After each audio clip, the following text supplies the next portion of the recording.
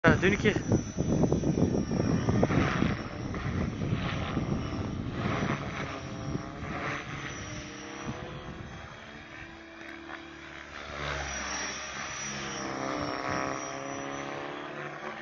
Laat hem een keer iets dichter tegen ons vliegen ook. Ja, oh ja.